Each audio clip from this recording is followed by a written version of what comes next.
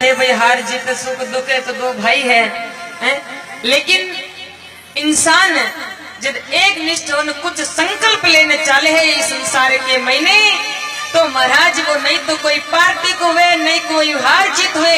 केवल एक ही लक्ष्य है कि जीवन के महीने कुछ न कुछ मने अच्छो किसान रे वास्ते दलिता रे वास्ते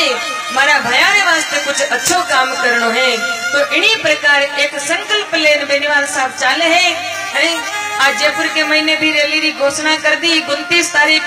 तो सबने निमंत्रण देवाने वास्ते आवे है। तो वास्ते